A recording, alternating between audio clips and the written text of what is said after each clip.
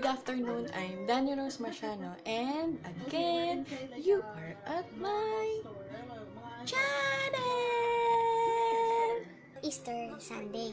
And nung bakasyon na Thursday, Friday, and nung Sabado, kahapon, ang ginawa ko is mag-search for our Taiwan plan tour.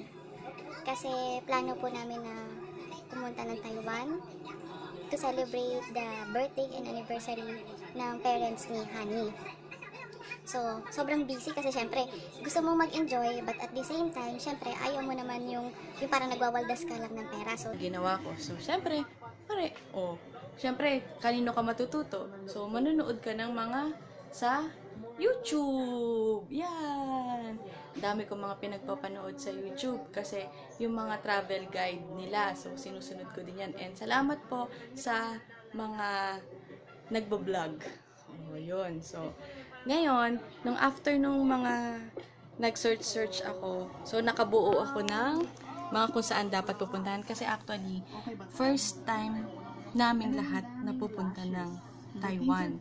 So, as you know, before si Taiwan, pag magtutour, magtuturist ka doon, kailangan may, may visa ka. Eh right now, nagkaroon si Taiwan, I think parang last year, parang nag-temporary siya, nag-testing siya na to all yung sa mga visitors, meron sila ngayon parang visa free for 14 days and mag expired na siya guys ng July 31. So, before mag July 31, um, we decided to go Taiwan. so yun nga. Yan yung mga ginawa ko. So, yung Excel na yan, etong nandito, destination ng mga pinanood ko sa vlog. So, kung makikita mo, ito yung sa mga pinagpupuntahan nila. Yan yung mga top nila. Kung meron silang top 20, top 10, top, top 5, so yan yun. Tapos itong mga to, ito yung sa mga, kung ilan yung mga pinanood ko, ito yung recommendations, ito yung mga pinagpupuntahan naman nila. So, ang tin- tinawag ko siya recommendations. So, pag napanood ko siya dyan, tapos pumunta siya sa, sa kunwari, sa Taipei 101, so, ang mangyayari ngayon, ipa-plus ko siya dyan ngayon. Bakit? Kasi ito yung gagawin namin basis kung saan kami yung gagawa ng ah, itinerary namin. Tapos, we also, I also have kung saan sila mga tumira.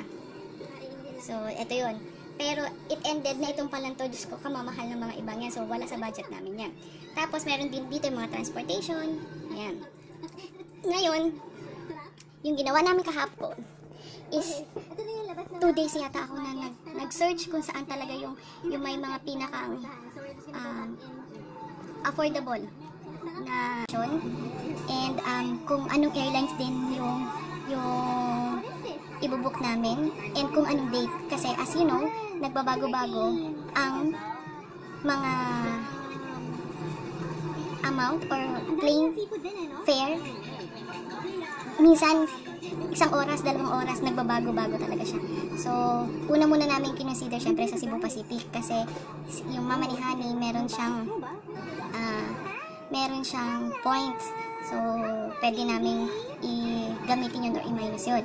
Pero, we found out na mas mahal pa siya kung mag Skycanner kami. Kasi nung, kung dati, last two years ago, nung umalis din kami, nag four countries kami, lahat ng yun, sinerch din namin, two months namin siyang ginawang itinerary. Ganyan. So, parang kung saan yung mas mamura, kung saan yung mas, as, kung ano yung tamang, tamang, ah, parang flight na destination namin na papasok sa budget namin, gumamit kami ng Skycanner. Sa Skycanner kasi, makikita mo doon kung sa lahat ng airlines, sino yung mga nag-offer ng mga ganitong ah, rate.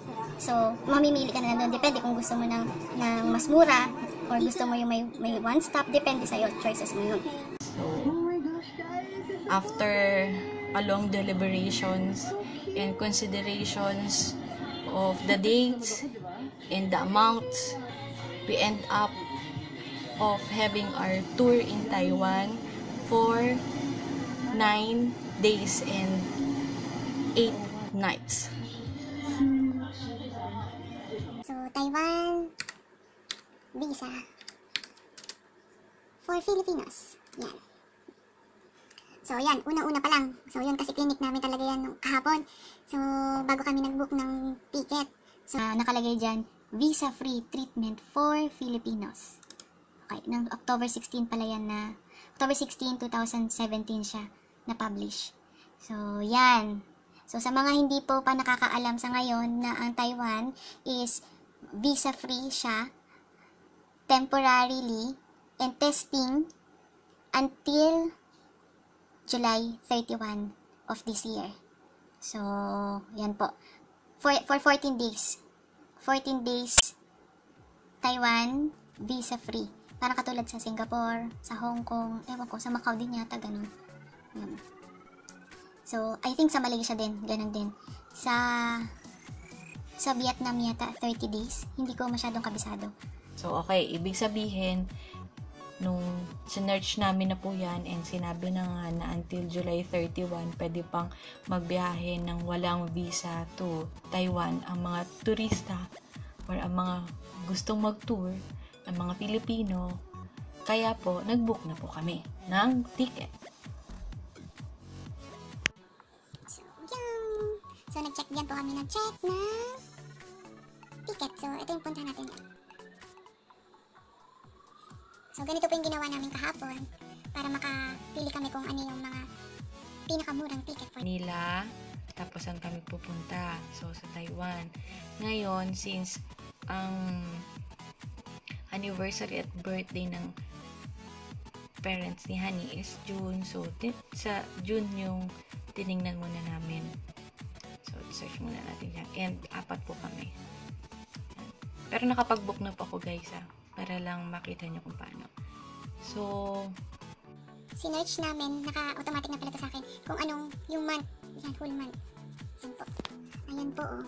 So, malalaman nyo kung ano yung may pinakamura, may pinakamahal na ticket, yung departure, alis, at saka yung return mo. So, yun. So, nung mga kinukonsider namin yan, ah, ang balik, June 24 sana ang alis namin. Tapos, ang balik namin ay June 30. Pero guys, kung makikita nyo, ganyan ang presyo niyan.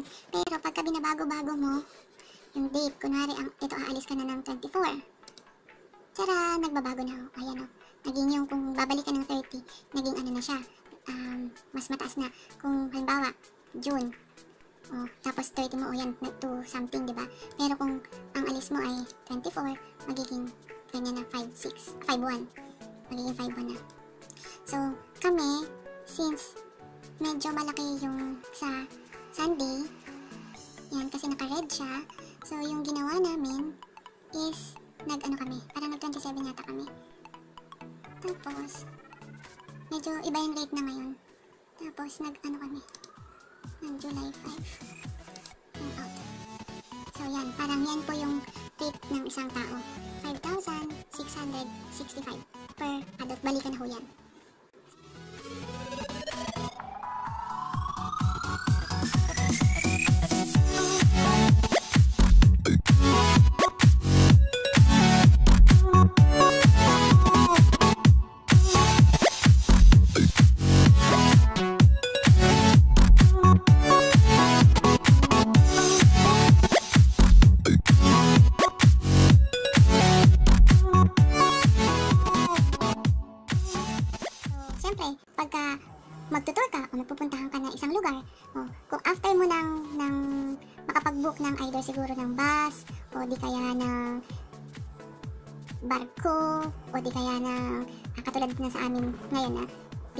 Ticket or flight fare, siyempre, ang susunod mo naman is yung kung saan ka naman matutulog.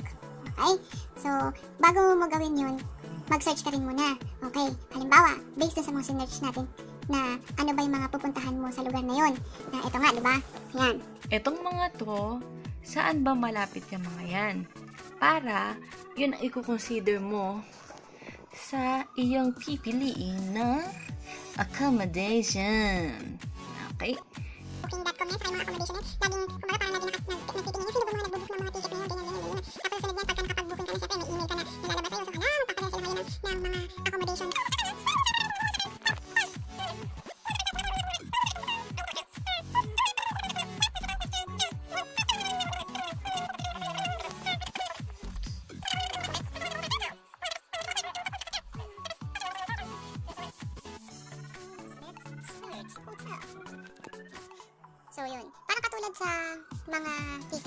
siya, marami, si Sky Canyon, marami din siya kinikater na mga nag-o-offer ng mga accommodation. So, yan po. So, kung afford mong magbayad ng ganyang kamahal, where kami ay hindi namin afford, and then you just need to click this para lumabas yung tungkol sa main in Taipei. So, kung makikita mo, oh, mayroon siyang Expedia, ayan, hotels, at saka um, Agoda. Yan. Ako, lagi kong ginagawa. Siyempre, price agad. Yun. Price agad yung filter ko. Tapos, siyempre, naka-Taipei. Hanap ko yan, Taipei. Tapos, sana merong breakfast. Pero okay lang naman kahit na room lang. So, piliin natin yung room. Yan. Tapos, free cancellation. Siyempre, kung medyo matagal pa para hindi ka nakatali. Tapos, siyempre, lagyan natin ng wifi. Air condition. Sorry po, bumabalik na bumabalik. Hindi ko naman kailangan ng parking kasi wala naman kami dalang sasakyan. Okay lang naman kahit na hindi air shuttle. Um, hotel, host, hostel, or hotel.